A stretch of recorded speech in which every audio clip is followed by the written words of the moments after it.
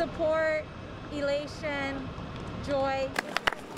Emotions were high at a time when spirits are low. A clap in during the morning shift change at Valley Medical Center in San Jose.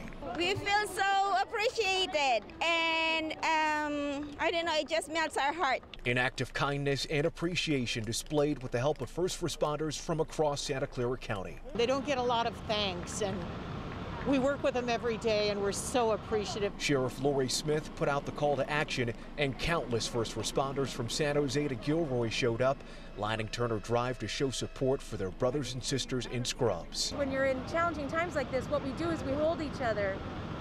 We're not able to do that right now, so now we're cheering each other. Thank you, guys. Sky 7 showing the magnitude of this rare salute reserved for fallen officers, now turned into a hero's welcome for medical staff on the front lines of a pandemic. We watch each other back, comfort each other time of need, support each other. Can't get no better than that. Second only to supplies, support is the most important thing we can give to these brave mothers, fathers, sons, and daughters selflessly sacrificing their lives to save ours. I feel like we already win the battle.